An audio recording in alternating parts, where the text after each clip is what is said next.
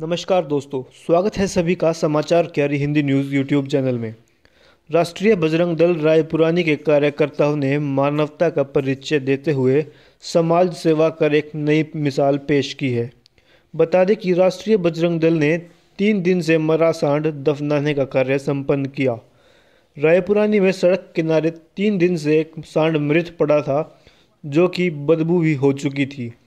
आने जाने वाले राहगीरों को भारी परेशानी उठानी पड़ रही थी, परंतु प्रशासन व ग्राम पंचायत कुंभकर्णी नींद में थे। लोगों को शिकायत के बावजूद भी किसी ने कोई शुद्ध नहीं ली। राष्ट्रीय बजरंग दल के सदस्यों ने जाकर सांड को दफनाया। राष्ट्रीय बजरंग दल रायपुरानी के कार्यकर्ताओं ने मानवता का परिचय देते हुए समाज सेवा कर मिसाल पेश की और राष्ट्रीय बजरंग दल के अध्यक्ष कपिल देव मुदगिल जी ने कहा कि निधि समर्पण के साथ साथ अब हिंदुओं को जागृत और संगठित करना हमारा लक्ष्य है। वहीं राष्ट्रीय बजरंग दल लव जिहाद, धर्मांतरण, आतंकवादी संगठनों को मुँह तोड़ जवाब देगा।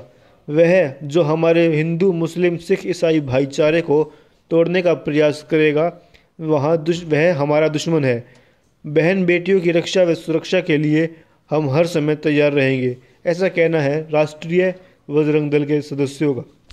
इस दौरान राष्ट्रीय बजरंग दल के उपाध्यक्ष रोहित शर्मा, राष्ट्रीय बजरंग दल के कोषाध्यक्ष दविंदर राणा, बंसी धीमान, दीपक अशोक शर्मा, सचिन शर्मा, दीपक अतरी, गोल्डी शर्मा, हरजीत अभिषेक शर्मा, मंजीत सैनी, प्रिंस सैनी, अंकित शर्मा और काफ़ी संख्या में राष्ट्रीय बजरंग दल के कार्यकर्ता उपस्थित रहे।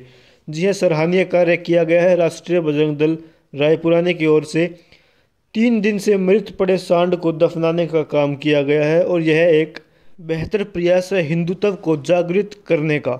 और भी बड़ी खबरों से रूबरू रहने के लिए देखते रहिए समाचार कैरी और सब्सक्राइब करना ना भूलें। यदि आप हमारा फेसबुक पेज देख रहे हैं तो अवश्य लाइक करें।